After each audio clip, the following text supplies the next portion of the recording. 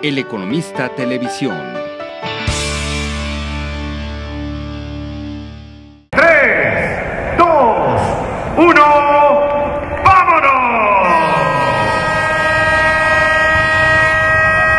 Con la participación de 40.000 corredores se llevó a cabo la edición 35 del Maratón de la Ciudad de México, una fiesta deportiva incluyente y de las más importantes a nivel mundial. Como hace 49 años, una vez más, corredores pasando.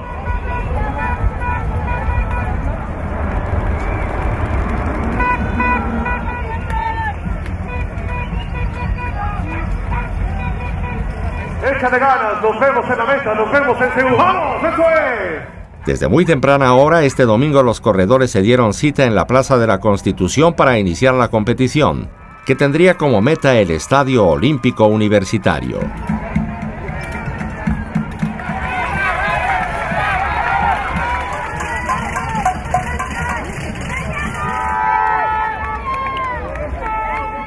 En esta ocasión los ganadores fueron el etíope Fikadu Kebede Girma, con un tiempo de 2 horas 17 minutos 32 segundos, seguido por Isaac Korir de Bahrein y el keniano Roger Sondati Gesabagua.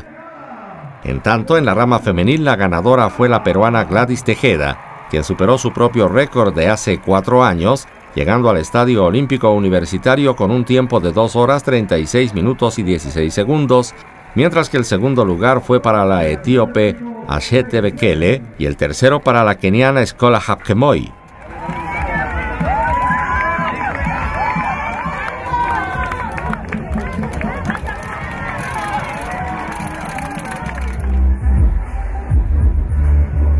Asimismo, Ivonne Reyes Gómez y Juan Valladares Hernández se coronaron en la categoría de atletas en silla de ruedas y débiles visuales respectivamente. El maratón de la CDMX se posiciona en el noveno de los 10 más importantes del mundo y se espera que el próximo año se supere el récord con más de 42 mil competidores. Con información de Verónica Torres Lizama e imágenes de José Luis Leone, Notimex.